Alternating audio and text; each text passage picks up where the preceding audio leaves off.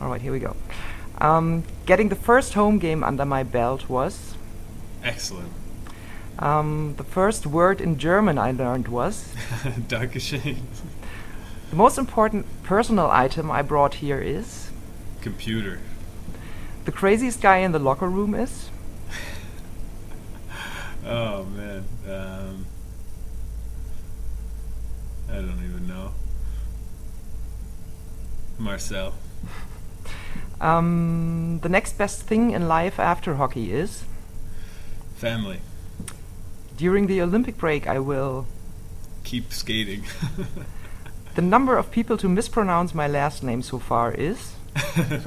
Endless, probably. The correct way to pronounce my last name is. Landry. The one bad habit I would like to get rid of is. Uh, Facebook.